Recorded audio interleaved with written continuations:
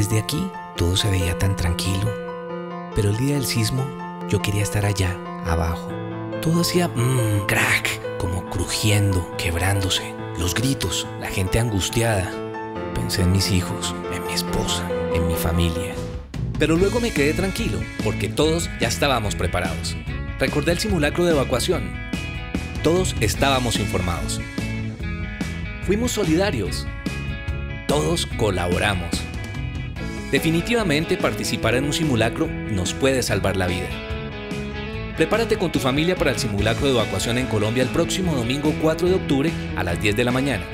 Y en Bogotá, del 5 al 7 de octubre, se activan las entidades del sistema para el simulacro de búsqueda y rescate.